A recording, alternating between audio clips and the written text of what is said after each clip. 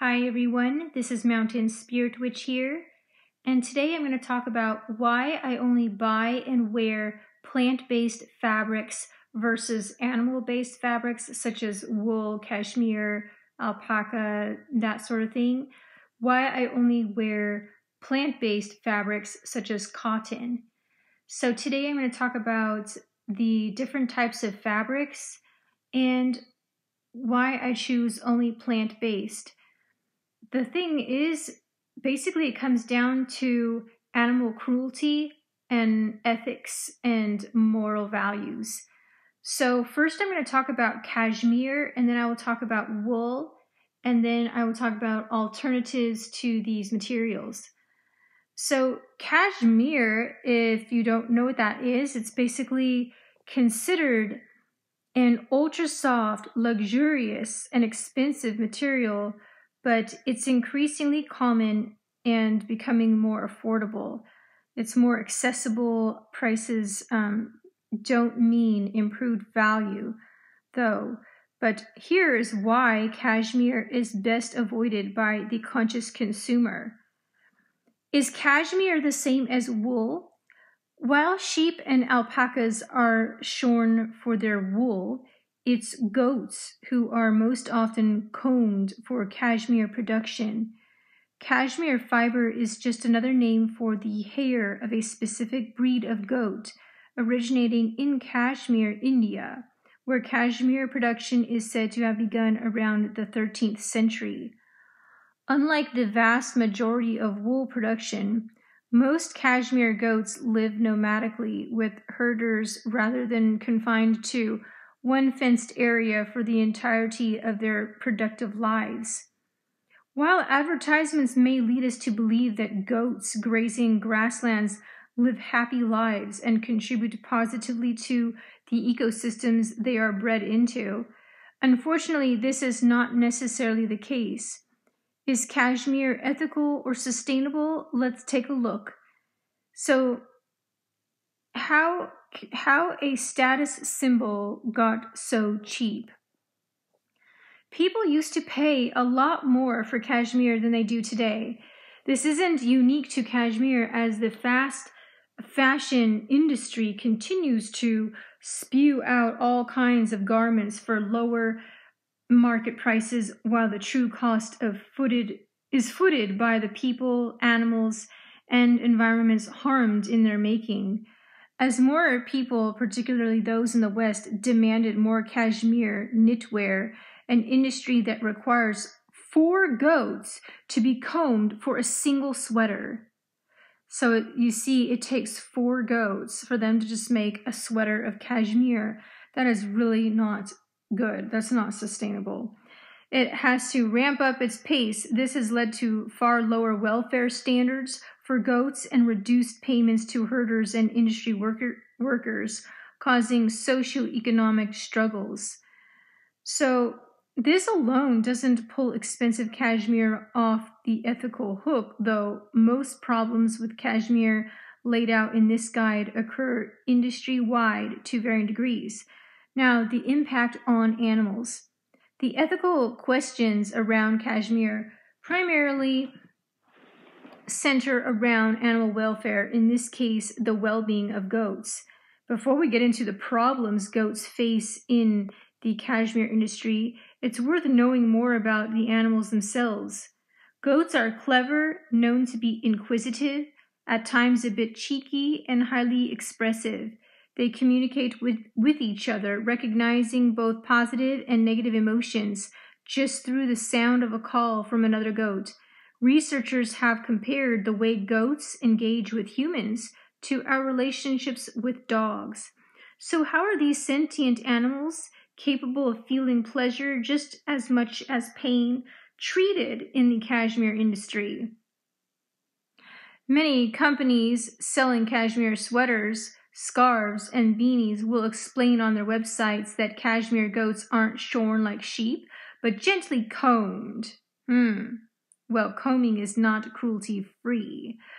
This claim can make it sound as though the process is comfortable for the animals. However, this isn't the case. While in Iran, Afghanistan, New Zealand, and Australia, cashmere goats are shorn, resulting in the same welfare problems found in wool supply chains. The majority of goats are combed with sharp toothed metal combs. These combs can scratch deeply into their skin, sometimes causing bruises and injury. The RSPCA, considered a, con- a conservative animal welfare organization, does not support the use of these metal combs. Across Asia and most Middle Eastern countries where cashmere production is most common, China and Mongolia are the leading suppliers. Here's how cashmere collection usually goes down. Goats are tied up, all four of their legs wrapped together, so they are immobilized. This immobilization is, as you would imagine, frightening and stressful. Goats are roughly combed for as long as an hour on average. Investigations have shown goats screaming out in pain and distress during this long and grueling process. While goats are often claimed to be combed when they are naturally molting, shedding their thick winter coats, this molting process varies based on unique differences between individuals. This means some goats in a herd may not be molting, um, may not be molting, uh, what? Come, combing time. I, I think that's a typo. It's not their time for molting, in other words. Um, so, what they're getting from the goats is this very soft underlayer of very um, uh, soft fur or hair on the bellies of the goats. It's just only on the bellies of the goats, and it, it's covered by a longer, coarser hair. That's why they're not getting much um, wool from each. Not they're not getting much cashmere from each goat. It's just this little underlayer, and it's not it's not very long. So, a slaughter industry. Not only do cashmere goats suffer through the distressing combing process, as well as painful mutilations like castration for males without pain relief, they are killed once they are of little financial value. Goats would naturally live to be about 12 years old, though some have lived far older. Goats treated as commodities in the cashmere industry don't get to live out their full lifespan.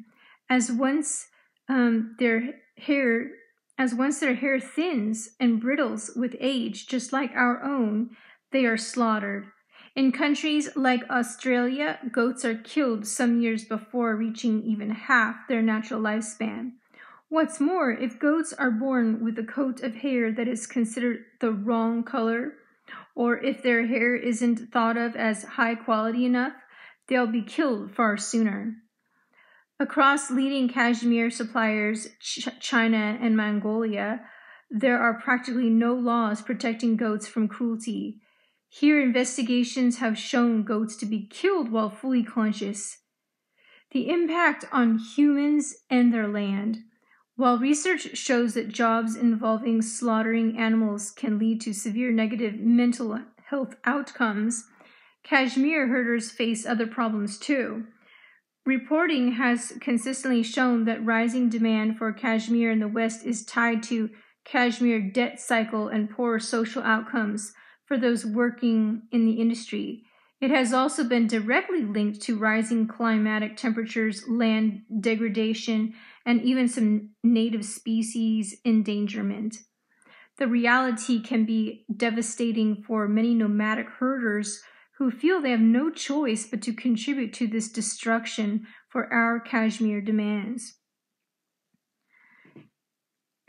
yes, I know my goats are harmful to our grassland, and the more we have, the worse our land becomes. I get that, but this is how we earn our money, and all I can do is watch my grasslands disappear. And that was said by one of the nomadic herders. Bish, his last name Bish. Bish's words reflect the broader struggle that comes with knowing the cashmere industry is causing detrimental harm to the land herders living live on while feeding there is no choice but to continue unless demand dies down again. If consumers shifted away from purchasing new cashmere due to its detrimental impacts, we would need to factor the well being of herders into that shift and find new, more just and sustainable ways to economically support them going forward. Um, the impact on the planet. Here is the good bit cashmere is biodegradable and a renewable resource. As far as materials go, it is more eco friendly than some others. However, the agricultural side of cashmere does have planetary impacts. 65% of Mongolia's once biodiverse grasslands have been degraded due to cashmere goat grazing, as well as the impact of the climate crisis. The breeding of ruminant animals like goats and sheep who burp methane is responsible for 472 million metric tons of CO2s each year. Removing this problem would be equal to taking 103 million cars off the road for a year. What's more, goats are notoriously unfussy eaters, ripping all sorts of plants up from the roots, contributing to biodiversity loss. The sharp hooves of these goats also cut into and can degrade the earth underneath them. So, while this all sounds grim, researcher Bulgamaa Densambuu has some good news about these grasslands. 90% of this total degraded rangeland can be recovered naturally within 10 years if we can change existing management. But if we can't change today, it will be too late after 5 to 10 years. So, is there more ethical and sustainable cashmere? Given the significant harm that cashmere production causes goats, herders, and the environment they share, conscious consumers' best bet is to avoid new cashmere. If you're really keen on struggling into the warm fiber, opting for the many well made vintage or second-hand garments knitted from the material is the ideal option.